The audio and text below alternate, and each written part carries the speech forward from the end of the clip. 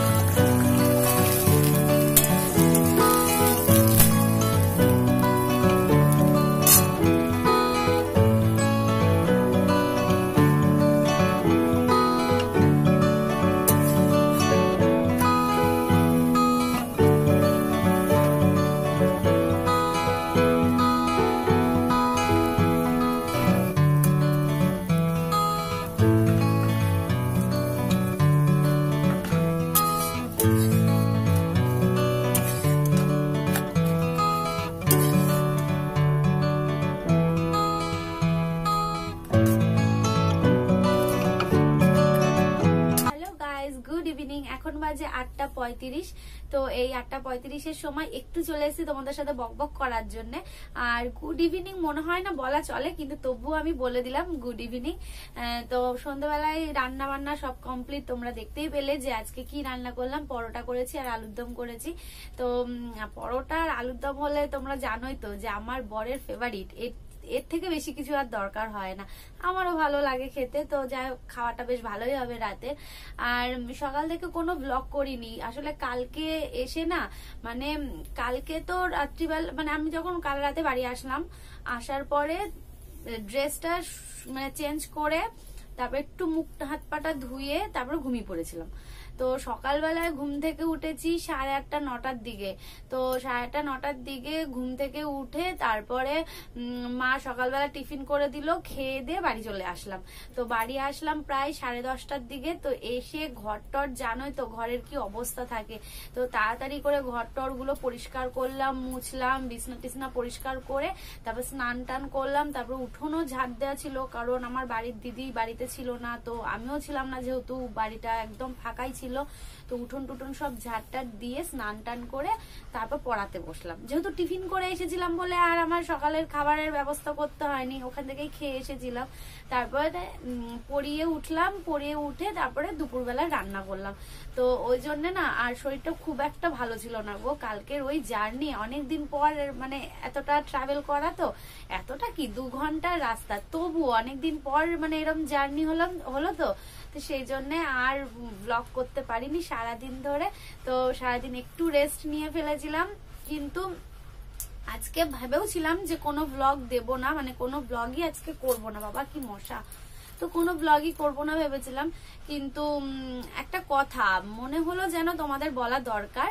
তো সেই জন্য ভাবলাম যে না, চলো সন্ধ্যা থেকে একটুখানি নয়, বক বক তোমাদের সাথে করে নেব। তো ভালো লাগবে, আমারও ভালো লাগবে তোমাদের সাথে একটু কথা বলতে পেরে। তো কালকে তো গেলাম ভালোই আনন্দ হলো।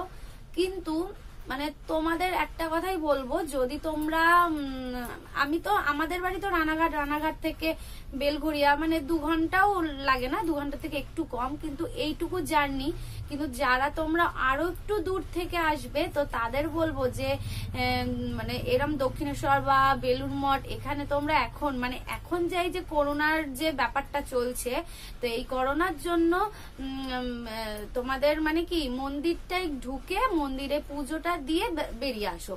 তাছাড়া আদার্স আর কিছু করার মতো নেই মানে আমরা যেটা আগে ভাবতাম যে সময় কাটানোর জন্য তো যাওয়া, যে না, একটা সারাটা দিন যাই পুজো দিয়ে সারাদিন ওখানে ঘুরবো, ফিরবো, তারপর একটু গঙ্গার ধারে বসবো তারপরে অনেক স্টল থাকে, তো এটা, ওটা, সেটা কেনাকাটা থাকেই সবারই, তাই না? তো এইগুলো করব। তো সেই হিসেবে গেলে এখন আর সত্যি কথা সেই রকম আর কোনো ব্যাপার নেই। তোমাদের তো আগের দিনের ভিডিওই বললামই। তো সেরকম সত্যি হচ্ছে না। পুরো বন্ধ করে দিচ্ছে। পুরো রাস্তায় মানে পুরো রাস্তার গেটটা পুরো বন্ধ করে দিচ্ছে। রাস্তায় বসে থাকতে হচ্ছে। এরম একটা ব্যাপার। যতক্ষণ না মন্দির খুলছে। এবার মন্দির খোলার পরে আবার কি? মানে ভেতরে একটু ঘুরে ফিরে বেড়াও, একটুখানি বসো, তাও তো পুরো রোদ, গাছের তলা টলায় বসা বেশি যাচ্ছে না। সবই বন্ধ করে রেখেছে বাস দিয়ে ঘিরে টিরে রেখে দিয়েছে। তো ওই রাস্তায় বসে থাকতে হচ্ছে, ওই ব্যাপারটা খুবই বাজে লাগে। তো অনেকক্ষণই বসে থাকতে হচ্ছে কিছু করার নেই। মানে আমরাও যেহেতু সারা দিনের জন্য গেছি, তো সময়টাকেও তো কাটাতে হবে। আমরাও বাইরে ওই পেপার পেতে বসেছিলাম, দেখলেই তো তোমরা। তো এইটাই আর কি। মানে পুজোটাই শুধু দেয়া যাবে। তার জানোই তো পুজো দেওয়া কেমন। যাও, পুজো দাও, চলে আসো। আর একটা নতুন এক্সপিরিয়েন্স আমার হলো মানে কি বলব এই রকম এক্সপিরিয়েন্স আমার হয়নি এখনও পর্যন্ত। এই তিন থেকে চার মাসের যে জার্নিটা হচ্ছে আমার এই তিন থেকে চার মাসের জার্নির মধ্যে একবারও আমি এইসব কিছু ফেস করিনি। তো কালকে যখন আমরা মানে দক্ষিণেশ্বর থেকে বেলুর মঠে যাচ্ছিলাম লঞ্চে করে যখন যাব সেই সময়টায় আমি একটুখানি ব্লগ করছিলাম। তো একটা মেয়ে ছিল, আমাদের মনে হয় সেম এজই হবে। তো সে যাই হোক মানে কথাটা বলল, কথাটা শোনার পর না আমার খুব খারাপ লাগল। তো আমি ওই জন্য ভাবলাম যে তোমাদের সাথে এটা শেয়ার করা যেতেই পারে। বলল যে ফোন কিনেই একটুখানি ভিডিও তুলে ইউটিউবে আপলোড করে দিলেই সেটা ব্লগার হওয়া যায় না। এরকম একটা মন্তব্য খারাপ লাগল। এতদিন আমি বাজার, বাজারে গিয়েও ব্লগ করেছি, কিন্তু কেউ কিছু বলেনি। হ্যাঁ একটু অবাক হয়ে সবাই তাকাই ঠিক আছে, কিন্তু কেউ কিছু এখনও পর্যন্ত বলেনি। তো শোনার পর সত্যি খুব খারাপ লাগল, এমনকি আমার মনে হলো কি যে বানাবো না। তারপর আমার বর, আমার করবে না, এরকম তো আসবেই। কিছু করতে গেলে এরকম বাধা আসে এরকম অনেকেই মন্তব্য করবে, তো সেইগুলো কান দিলে চলে না। তো মনে হলো যেন সত্যি কথা এই ইউটিউব প্ল্যাটফর্মটা মনে হচ্ছে আমার জন্য না। এরকমই একটা লাগল যে না, সবাই কি বড় হতেই আসে? কেউ হয় কেউ হয় না। আমার কপালে যদি থাকে, আমি হব, আর নাহলে হব না। কিন্তু আমার ভিডিও কি তোমরাই বলো যে আমি যে ভিডিওটা তোমাদের কাছে দিচ্ছি, সেটা কি খুবই খারাপ হচ্ছে? দেখার মতন কি হচ্ছে না? হয়তো হচ্ছে বলে কিন্তু তোমরা কিন্তু আমার ভিডিও দেখছ। যে কজন আমার ফ্যামিলি মেম্বার্স আছে, তোমরা কিন্তু অনেকেই আমার ভিডিও দেখছ, অনেকে সুন্দর সুন্দর কমেন্টস করছ। এমনকি আমি যে ঘুরতে যাব বলেছি, এটা নিয়েও তোমরা আমায় বলেছ যে, না, ঘুরে আসো, একঘেয়েমি জীবন ভালো লাগে না। অনেক দিদি ভাইরা আমাকে বলেছ যে, একঘেয়েমি জীবন ভালো লাগছে না, ঘুরে এসো। তো সেই হিসেবে তখন মনে হলো কি যে, আমি আর ব্লগ করব না, আমার ভালো লাগছে না, আমার এই প্ল্যাটফর্মটা সত্যি আমার জন্য নয়। তো তারপর ভাবলাম যে তোমাদের আমি যেহেতু কথা দিয়েছি যে আজকে আমি সারা দিনটা কি করছি মানে কালকের দিনের কথাই তোমাদের বলছি যে কি করছি সেটা আমি পুরোটা তোমাদের শেয়ার করব। এবার সেখানে মাঝপথে গিয়ে যদি আমি ভিডিও করা বন্ধ করে দিই কিছু যদি না করি, তাহলে তোমরা কি ভাববে? তোমরা তো কিছু একটা আশা করে রয়েছো যে না, কি করল রিয়াঙ্কা সেটা দেখব। তো যখন ভিডিও করতে যাব, তখন বা দিক থেকে ডান দিক থেকে, সব দিক থেকে একটা বাধা আসবে। যেটা আমার পাড়াতেও হয়েছিল যে অনেকে অনেক মন্তব্য করতো, যেটা কি, এটা কি করছে, মা, এটাও আবার করতে হয় এরকম হতো। তো সেটাকে যতক্ষণ আমি ইগনোর করতে পেরেছিলাম, এখন আমি পাবলিক প্লেসে যাচ্ছি। সেই পাবলিক প্লেসে গিয়ে নানা রকম মন্তব্য আসবে। তো সেইটাকে ধরে রেখে যদি আমি ভিডিও করা বন্ধ করে দিই, তাহলে কি করে হয়, তাই না? নেগেটিভ তো থাকেই মানুষের মধ্যে। সবার মধ্যে যে পজিটিভলি কাজ করবে, সেটা তো না নেগেটিভ আসবে নেগেটিভ লোকও থাকবে। তো তাদেরকে আমাকে ধরে রেখে চলবে না। তাদেরকে আমায় ইগনোর করেই বেরিয়ে আসতে হবে। আর আরেকটা জিনিসও একটা গাছ যখন জন্মায়, তখন কিন্তু সে ছোট্টটা থাকে।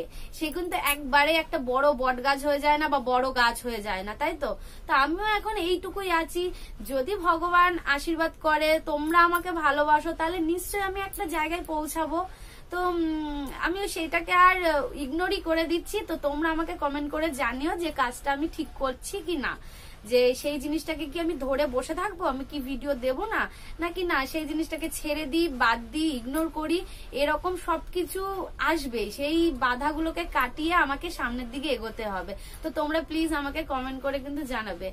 আমার মনে হলো এটা তোমাদের জানানোর দরকার। আমার মতন অনেকে কিন্তু ছোট ইউজার আছো যে সবারই কিন্তু একটা পাবলিক প্লেসে বা লোকালয়ের মধ্যে গিয়ে ভিডিও করলে হয়তো অনেক রকম প্রবলেম ফেস করতে হয়।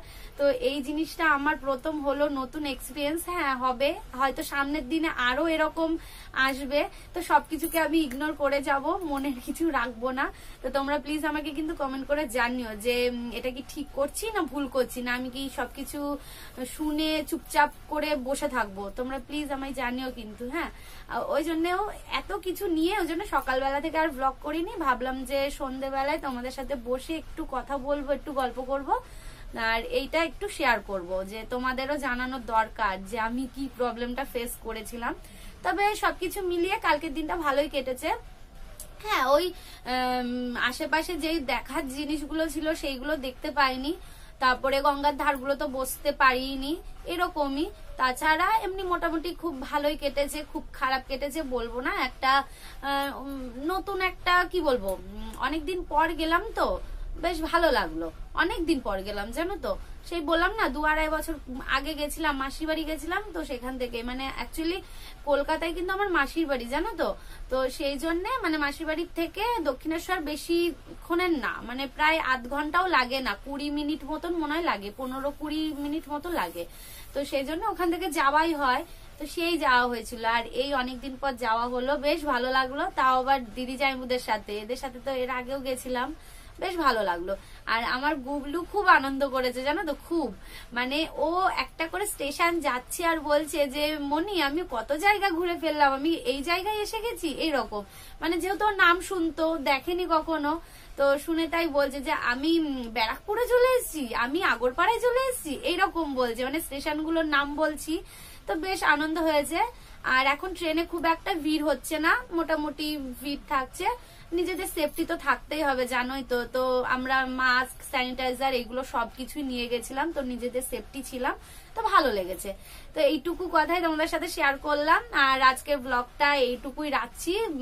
কোনো কাজকর্ম আর কিছু শেয়ার করছি না। তো স- উম, সন্ধ্যেবেলায় যেটুকু রান্না করলাম সেটাই শেয়ার করলাম। আর একটু বক করে নিলাম তোমাদের সাথে। তো আজকের ভিডিওটা কেমন লাগল? এই বকবকানি একটু কি বলব? বেশি বকবক করে ফেললাম মনে হয়। তো এই বকবকানি ভিডিওটা কেমন লাগল? অবশ্যই তোমরা কমেন্ট করে জানাবে। আর আমি যেটা জানতে চেয়েছি, সেটাও কিন্তু কমেন্ট করে জানাবে যে আমি ঠিক করলাম না ভুল করলাম। তো আজকের ভিডিওটা এখানে শেষ করছি। নতুন ভিডিও নিয়ে আজ, কালকে আবার চলে আসব সকাল সকাল।